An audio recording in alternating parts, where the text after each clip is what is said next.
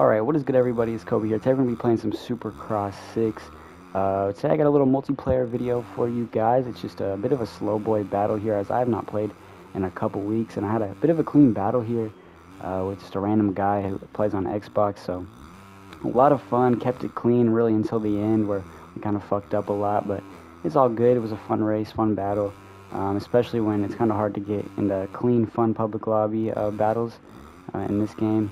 But yeah, I haven't really played much since I've been uh, recording footage for my Supercross the Game series, uh, where I basically just play for an hour and then get an hour of multiplayer footage for y'all. Um, but yeah, none of that today, just one race. I just thought it was pretty entertaining all the way down to the end. It's, it's really close and simple, um, just decent, good, fun gameplay. So hopefully you guys enjoy that. It is a no com. Uh, you'll hear me a little bit as my, my mic was on, but I wasn't really talking at all.